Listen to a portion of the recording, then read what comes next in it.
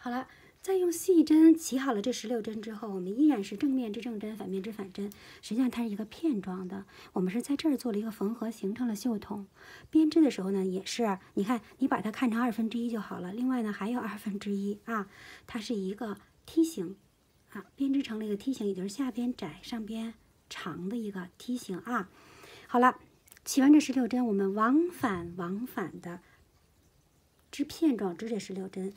用四点五的环针，细的环针啊，向上一共织了四行之后，我们就要给它改成了六点五的粗的环针，看到了吗？六点五。然后改粗针的同时，我们要在两侧干嘛呢？规律加针。改的同时，这一行就要加针啊，在两侧各加一针，分别加在第一针和第倒数第二针的位置。至于为什么要这样安排，你要到嗯播放列表下边的那个视频教程里边去看，那里边会讲的非常清楚。只有那个位置才是最对称的地方，明白了吗？如果你还不了解的话，我可以用一张图来给你来看一眼啊。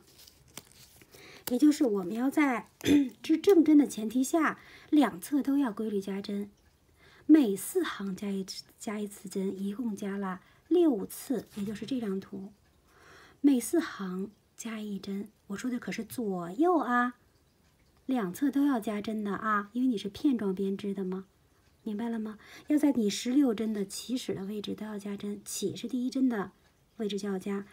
呃，结束的位置啊，是要在倒数第二针的位置加，明白了吗？啊，两侧都要加针啊。你一共加了四次。如果同学们不能理解前面这个四是什么意思啊，我现在来给大家解释啊。这是一张非常有用的小图，你很有必要给它截下图来。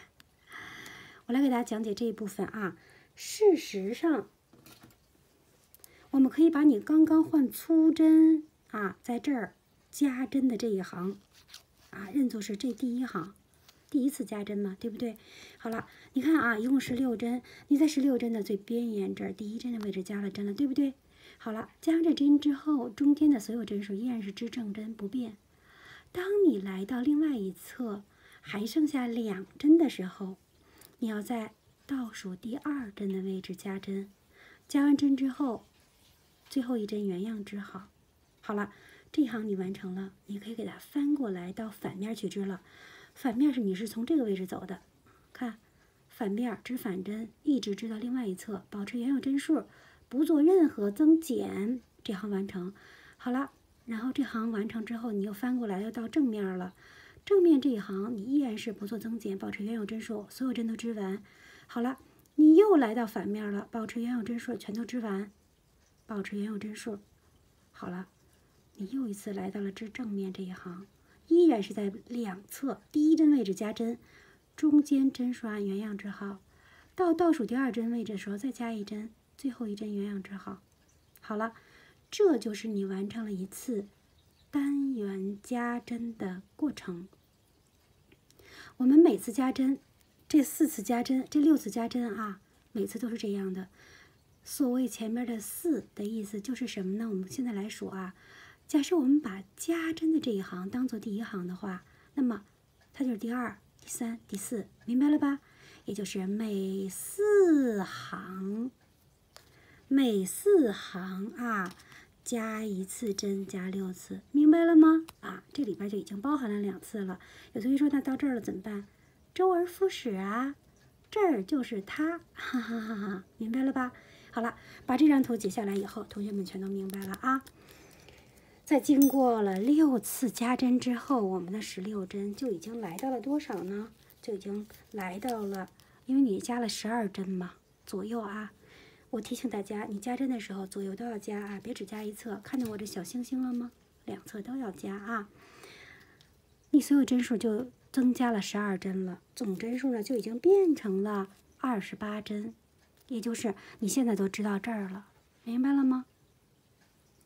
已经，你已经到这个位置了啊！好了，到了这位置之后，然后我们要怎样操作的呢？你现在，我我们还拿这张图来举例啊。我们把这一行当成你最后二十八针完成的最后一次加针那一行，你看，这是你最后一次加针，这面也加了，这面也加了，是不是？你要反过来要织反针了，对不对？好，去反面织吧，原样织好就行了。当你再来到正面的时候，重点来了啊，要把前两针正针织成一针正针，因为你现在已经开始减针了啊。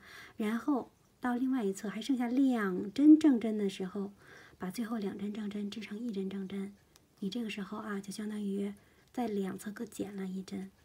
好了，这时候你需要翻过来织反面了，对不对？记住了，反面前两针也要给它。织成一针反针，中间不变，最后两针反针也织成一针反针。这时候你就完成了所有的减针动作，然后把你剩下的所有针给它松松的收平边儿，你就完成了一只袖子，明白了吧？也就是之前我给大家说的这个减针啊，就是这个样的形式。前面是一一的意思就是什么？每行都减，减一针就是把最前的两针给它合成一针织。二。两次的意思，也就是每一侧啊，我们剪了两次针，能明白了吧？正面也剪，我们正面剪过一次，对不对？反面也剪过一次，对不对？啊，一共剪了两针啊，在两侧各剪了两针。那么完成减针之后，你的总针数呢就剩下了二十四针啊。这二十四针我刚刚跟大家讲了，你要松松的收平边儿，收完平边之后，你就完成了这个袖子啊。我对大家的建议是。大家千万千万要完成两个绣片，两个绣片之后，然后再给它缝成袖筒。为什么？因为我们我们要拿着之前已经织好的那个绣片啊，来作为参照物，来确保两个绣片织的是一模一样的。明白了吗？啊，如果。我现在讲的和你实际操作当中有一点出入，就光袖子这块有一些出入的话啊，有些不同的话，那么一定要按照我刚刚讲的这个来，因为这样才会符合两件衣服的啊这两部分的整体比例，明白了吗？好，这时候啊，我们要按照这个要求完成两个绣片，同时把两个绣片给它缝合成两个袖筒。袖筒怎样缝合的呢？我们一定要正面织正针的这一面啊，给它。挨着向里给它这样翻着啊，给它这样扣在一起，沿着边沿给它缝合好。所谓的边沿是什么呢？就是我们加针的这个位置啊，加针的这个位置，看到了吗？啊，不能缝多了啊，只能是最后你缝合的这个。这个一点落在你第二十八针，也就是第六次加针的这位置，它也是整件衣服袖子的最宽处啊。要在这个位置结束你的袖筒的缝合，我们要从这个位置开始缝啊，一直缝到这边，明白了吗？啊，缝合好之后翻过来，一定要记住啊，翻过来跟袖子的正身跟正身这一部分啊。缝合，我们是从表面缝的啊，而不是呃用某种方法缝完以后又又重新翻的，并不是啊，因为我们借助于某种非常巧妙的手段，才能够使得我们在这个位置啊能够缝的非常的整齐。什么样的手段呢？你可以在这个位置啊找一个 有宽度的东西，杂志也好像我这种啊垫汤碗的这个。陶瓷垫儿也好，都可以啊。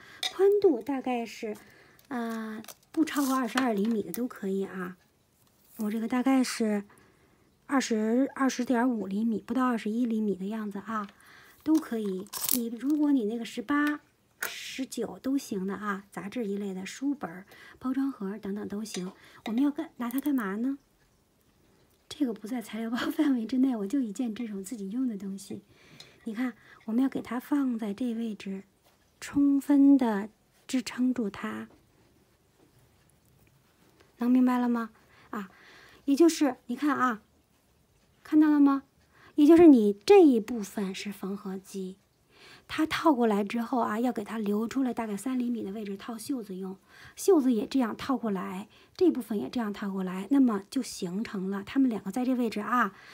用一个相同的撑子撑起来，也就是它自动将你的所有的密度都已经均匀了，明白了吧？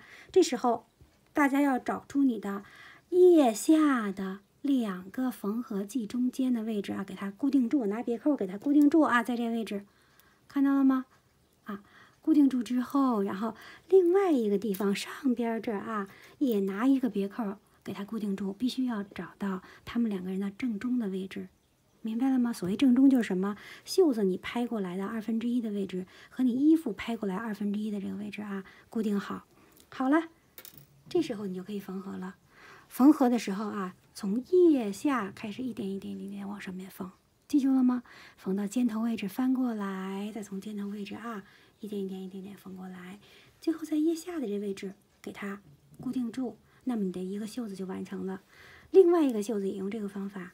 看似很简单的东西，其实解决了长久以来大家在缝合袖子与正身位置当中的所有的弊端。大家在完成这一部分时候啊，织都会，都弄得很好。一涉及到缝，所有人的位置啊，就出现了各种各样的问题啊。我们究其原因，就是我们没有一个固定的东西来支撑着它。如果有这个东西的话啊，大家应该都缝得很好。好了。这个位置缝好之后，我们就会到下一个环节，我会给大家详细的公布各个数值啊。